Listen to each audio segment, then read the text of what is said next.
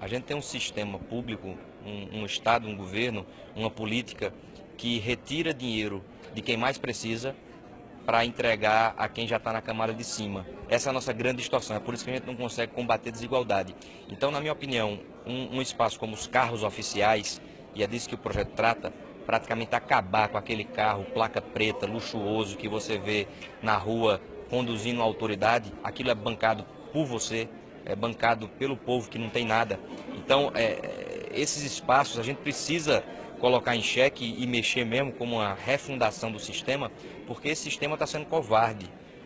À medida em que ele não dá saneamento básico, 50% da nossa população não tem saneamento básico, ele não dá escola de qualidade, oportunidade para as pessoas e tem um lugar como esse aqui na Câmara banhado de dinheiro, de regalia, de cargos, de espaços, de, de, de poder para que a autoridade consiga se reeleger.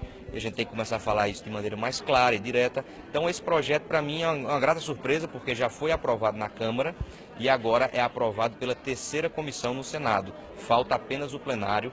Eu vou pedir com o meu maior entusiasmo a mobilização de cada um Cada cidadão tem que se mexer para exigir que esse projeto seja pautado e seja aprovado. É, é, é, é simbólico isso. É simbólico porque devolve o dinheiro ao mais humilde. A gente tem que fazer um, um, um, um reset no nosso país para devolver o dinheiro para quem está lá embaixo.